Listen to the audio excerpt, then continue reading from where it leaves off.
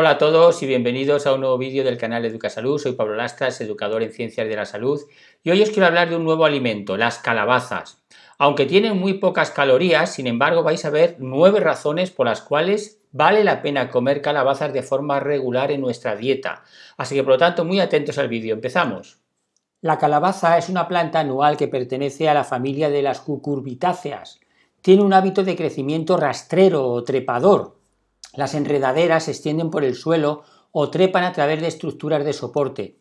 Sus hojas son grandes, de forma lobulada, y tienen bordes aserrados. Son de color verde oscuro y pueden variar en tamaño según la variedad de calabaza. Las flores son grandes y llamativas, de color amarillo brillante. La planta de calabaza produce flores separadas en plantas masculinas y femeninas. Las flores masculinas suelen aparecer primero y son seguidas por las femeninas. El fruto de la calabaza es en realidad una baya grande y carnosa que se desarrolla a partir del ovario de la flor femenina. Pueden tener diversas formas, tamaños y colores, dependiendo de la variedad. Algunas calabazas son redondas, otras son alargadas y hay variedades con formas más inusuales. La planta de calabaza tiene un sistema de raíces extenso que le permite absorber nutrientes y agua del suelo. Las flores de calabaza son polinizadas principalmente por insectos como las abejas, la polinización cruzada entre flores masculinas y femeninas es esencial para la formación de su fruto. Recordad que la calabaza es una planta anual, lo que significa que completa su ciclo de vida en un año, es decir, se siembra, crece, produce flores, frutos y luego muere al final de la temporada. Y la calabaza prefiere suelos bien drenados y fértiles, necesita pleno sol para su óptimo crecimiento.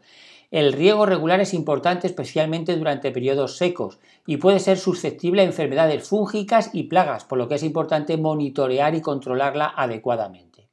Hablemos a continuación una estimación general de la composición nutricional de 100 gramos de calabaza cruda. Como veis, por la tabla que os indico aquí, las, las calorías son muy pocas.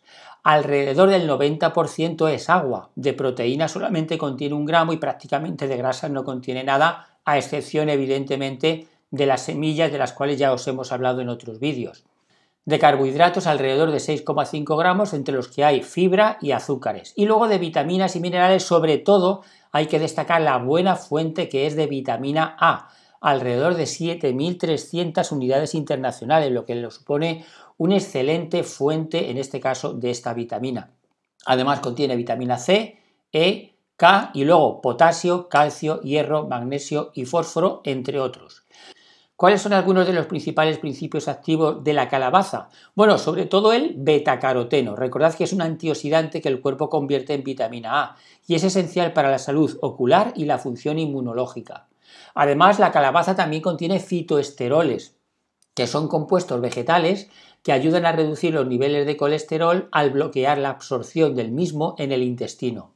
Por otra parte, la calabaza contiene luteína y ceasantina. Son carotenoides que tienen beneficios para la salud de los ojos y que pueden ayudar a prevenir la degeneración macular relacionada con la edad. Recordad que al mismo tiempo tiene una buena cantidad de ácido ascórbico, conocido como vitamina C, que contribuye a la salud del sistema inmunológico y de la piel, y además de los minerales esenciales de los cuales hemos hablado antes, también contiene algo de zinc y de manganeso que también son esenciales para varias funciones corporales.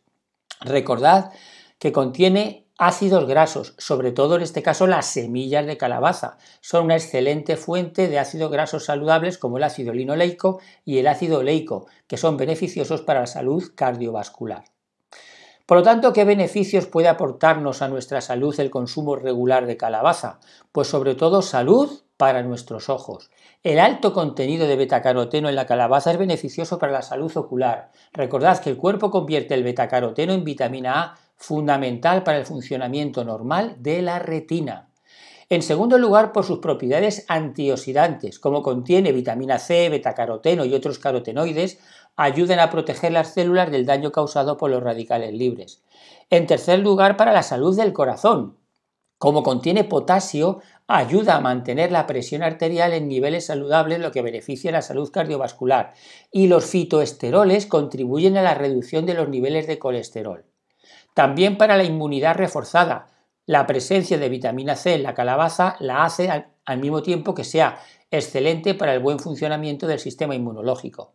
También hay que tener en cuenta la salud digestiva. Como la calabaza tiene fibra dietética, promueve la regularidad intestinal y previene el estreñimiento. Por otra parte, el control del peso. Recordad que es muy baja en calorías, pero que también tiene fibra, lo que contribuye a la sensación de saciedad y al control del peso. En séptimo lugar, la regulación del azúcar en sangre. Como contiene algo de fibra y otros nutrientes presentes en la calabaza, ayuda a regular algo los niveles de azúcar en sangre. Hay que tener en cuenta también la salud de la piel. La vitamina A y otros antioxidantes presentes en la calabaza son beneficiosos para la salud de la piel, ayudando en la regeneración celular. Y por último, para la reducción del riesgo de enfermedades crónicas. La presencia de estos nutrientes de los cuales hemos hablado y compuestos bioactivos se han asociado con la reducción del riesgo de enfermedades crónicas como enfermedades cardíacas y ciertos tipos de cáncer. ¿Qué podemos decir en cuanto si hay que tener algún tipo de precaución a la hora de consumir calabaza? Bueno, las alergias a la calabaza son muy raras, pero bueno, es posible que siempre haya alguna persona a lo mejor que pueda tener algún tipo de alergia a la calabaza. Ya sabes que si experimentas picazón, hinchazón o dificultad para respirar después de comer calabaza, busca atención médica. Tienes que tener en cuenta también la interacción con medicamentos. Si ya estás tomando algunos medicamentos o tienes ciertas condiciones de salud específicas, consulta con un profesional de salud. Sobre todo si tomas anticoagulantes, puedes necesitar moderar el consumo de alimentos ricos en vitamina K, que como sabéis la calabaza también contiene algo de vitamina K. En cuanto a la diabetes, hay que tener en cuenta que antes hemos dicho que podría beneficiar también eh, para la regulación del azúcar en sangre. Sin embargo, tener en cuenta que también contiene carbohidratos. Luego, por lo tanto, hay que controlar su ingesta de una manera adecuada para gestionar estos niveles de azúcar en sangre. Recordad también la precaución con las semillas de calabaza.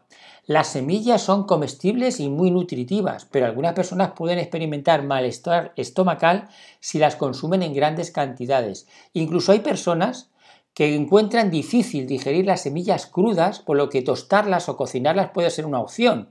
Sin embargo, siempre es mejor recomendable, si tomas frutos secos o semillas crudas, tomar también una fruta jugosa antes de consumir frutos secos semillas, es decir, una manzana, una pera, alimentos, en este caso, que sean jugosos y que preparan ya el estómago para hacer la digestión de los frutos secos o las semillas crudas. Por otra parte, ten en cuenta la toxicidad en variedades amargas. Hay variedades de calabaza que son amargas y que pueden contener, por lo tanto, sustancias tóxicas en niveles elevados, por lo que es importante consumir variedades que sean conocidas y seguras. También ten en cuenta la intolerancia digestiva. Hay alimentos que los que son ricos sobre todo en fibra, si se consume excesivamente podrían causar molestias digestivas en algunas personas. Por lo tanto, siempre es bueno introducir los alimentos gradualmente en tu dieta para evaluar tu tolerancia. Y por último, ten en cuenta la contaminación cruzada. Aquellas personas con alergias alimentarias deben tener cuidado con la contaminación cruzada en la preparación de alimentos para evitar el contacto con alérgenos. Bueno, ¿forma parte de vuestra dieta el consumo de la calabaza? Me lo podéis dejar en vuestros comentarios. En el próximo vídeo vamos a hablar de una nueva planta medicinal, el copalchi. Buena salud a todos.